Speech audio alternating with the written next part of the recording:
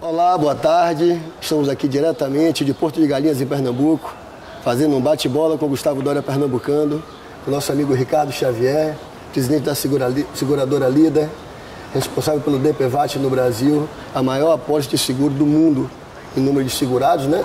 O seguro realmente social. Boa tarde, Ricardo. Boa tarde, Gustavo. É um prazer estar aqui mesmo falando e para falar sobre isso. Como você falou, a maior apólice de seguro do mundo. Podemos praticamente dizer que eu acho que nenhuma outra Nenhum outro produto de seguro tem isso. 190 milhões de pessoas cobertas e protegidas 365 dias por ano. E em qualquer situação, porque o importante do DPVAT, por, por ter esse cunho social, todas as ocorrências de trânsito estão cobertas. Eventualmente acontece um caso, outro dia uma empregada de um amigo meu, o filho morreu atropelado e ele tinha bebido, ele era pedestre e o cara fugiu. Mas ela fez o boletim de ocorrência, mas não sabia que tinha direito à indenização. Estava com a, com a viúva enchendo o saco pedindo né, um dinheirinho emprestado, quando tinha mais de 13 mil reais para receber. E foi alegria para a família. Então, se tá, não importa da regularidade do condutor, de quantas pessoas tem no veículo, do estado que estava o pedestre, qual a situação. É acidente de trânsito, seja que veículo for, a, a, a, que tenha acontecido, esse seguro está coberto, independente até da comprovação se o, veículo que, que, que, causou, participou do acidente, estava com o DPVAT pago ou não. É isso mesmo, Ricardo? É isso mesmo. A principal questão é a seguinte: tem que ter sido um acidente causado por um veículo automotor de via terrestre. Causou um dano a uma pessoa, não depende da culpa. Até se o próprio indivíduo que estava conduzindo, ele se feriu e ele foi culpado pelo acidente, ele vai ter também ele indenização. Também tá até ah, ele está tá coberto. Toda e qualquer situação, toda e qualquer vítima tem direito à indenização do seguro DPVAT. Se for uma vítima, vítima de acidente de trânsito. Então ela poderá buscar a sua indenização, sendo pedestre, sendo motorista, sendo responsável, que ela será indenizada.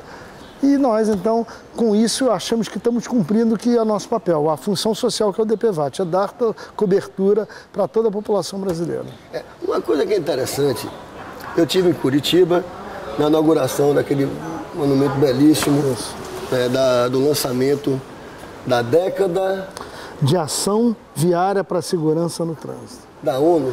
Da ONU, exatamente. A ONU decretou o período de 2011 a 2020 como a década de ações viárias para a segurança no trânsito. O que, que eles significam com isso? O trânsito hoje, com o desenvolvimento da sociedade, com a melhor distribuição de renda na, nos países, com o maior acesso da, da, da, da população aos meios de transporte, o trânsito tem se tornando um dos maiores causadores de morte no mundo.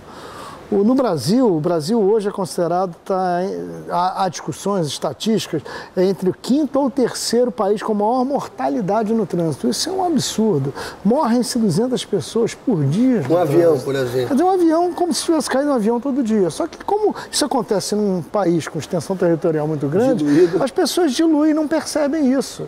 Mas se você juntar todas as mortes no trânsito e falar de uma única vez, parece que você está falando que caiu um avião todo dia. Então, as pessoas têm que se envolver com esse assunto. Essa questão, essa questão tem que estar presente no dia a dia, nas conversas, para que as pessoas se conscientizem. Então a ONU resolveu decretar a década de 2011 a 2020 para que todos os países assumissem um compromisso de promover algum tipo de redução na mortalidade, na acidentalidade no trânsito. Então, o Brasil hoje está com essa, tem que estabelecer esse compromisso, quer dizer, o Congresso Nacional já está discutindo isso, o próprio Poder Executivo já está criando movimentos para efetivamente assumir compromisso e tentar buscar, então, o monitoramento e a efetivação dessa redução da acidente de trânsito. É, eu tenho, eu tenho, nós temos noticiado muito no CQCS que a gente tem uma área específica de DPVAT, ali da onda de mantenedores.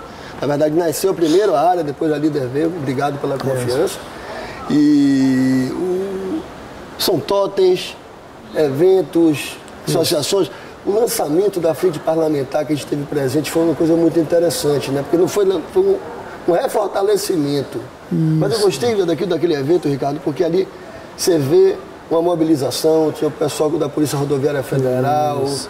Ministério da Saúde, Ministério do Transporte, congressistas, deputados, senadores, quer dizer, ali, no, relançamento da frente, agora no primeiro semestre, se, pro, você aproveitou aquela oportunidade, o deputado Hugo Leal, que é o presidente da frente parlamentar. Que já era um cara engajado, mesmo já, o Beto cuidava disso. Isso, ele é o autor da lei seca, né? Ele é conhecido como autor da lei seca, né? Então ele ali quis é, fazer aquele movimento de relançamento da frente, justamente para também aproveitar a oportunidade e marcar o início da década no Brasil das ações, eh, das, de ações viárias para a segurança no trânsito. Então ele ali quis provocar a autoridade instituída, seja do Poder Executivo, seja do Legislativo e até do Judiciário, para que se engajassem nisso e buscassem então uma discussão para a gente tomar compromissos e começar a tomar medidas efetivas para a redução do acidente de trânsito. Você vê, nós estamos aqui hoje em Porto de Galinhas, estivemos no, durante a conferência de seguros e acabamos participando de um painel em que o Dr. Laedson Bezerra, que foi presidente do Detran de Pernambuco e hoje é o coordenador do Fórum Permanente de Trânsito no estado de Pernambuco. Então, o estado de Pernambuco, através de uma iniciativa de sindicatos, corretores e sindicatos de seguradoras, criou esse fórum para discutir permanentemente durante o ano inteiro que medidas qual, qual, qual, a problemática do trânsito? Que medidas podem ser tomadas para se reduzir a, a acidentalidade do trânsito?